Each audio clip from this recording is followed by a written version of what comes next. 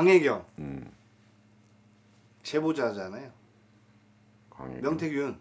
아, 예. 예. 강혜경 씨. 음, 미설이요? 사주는 잘 모르겠고 어차피 얼굴 아시잖아요. 음, 그건 미래 좀 어떻게 될 것 같아요? 이 대로 받으면은 말로 주는 친구야. 그러니까 여자임에도 자기의 프라이드가 있는 거지. 그리고 지금 그 친구가 나와서 막 이렇게 어떻게 자기 나름대로 진실이라고 얘기를 하고 있잖아.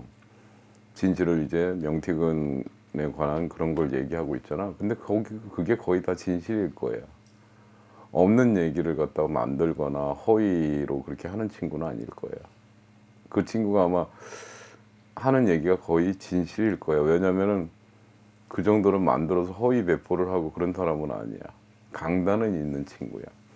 거기에다가 또 어떻게 보면 자기가 이렇게 밝히고 있잖아. 밝히고 있으면 또 이제 또 이제 그 선물 보따리 명태균에서는 아니라고 딱 그 사람이 또 다 지어낸 거다고 이렇게 반복 반- 번복치기 뭐야 또 하고 있잖아.